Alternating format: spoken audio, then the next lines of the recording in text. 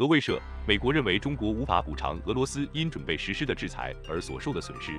据俄罗斯卫星通讯社今日报道，美国国家安全顾问杰克沙利文在接受美国广播公司电视台的采访时表示，美认为中国无法补偿俄罗斯因乌克兰周边局势而遭西方国家制裁所要遭受的经济损失。他提到，我们估计中国无法弥补俄罗斯因我们的制裁而要遭受的经济损失。